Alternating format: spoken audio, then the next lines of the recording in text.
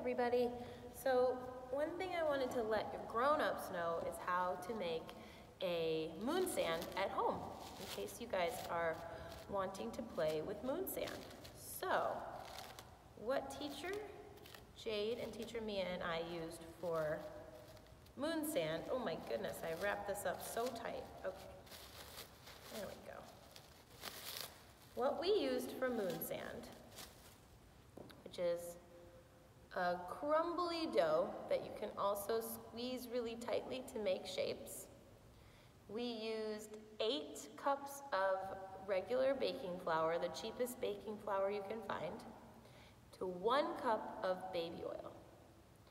My instinct says you can probably use any kind of oil if you have canola oil or cooking oil, um, but we used baby oil, which also makes it smell kind of like um, pleasant.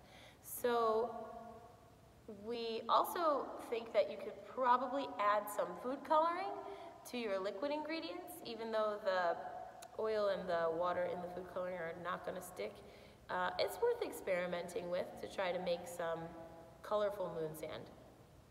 Um, so that's something you could try today or throughout the week, making some different doughs and sensory play um, ideas. We can we will be checking back in with you and letting you know some more of our ideas throughout the week. Thank you.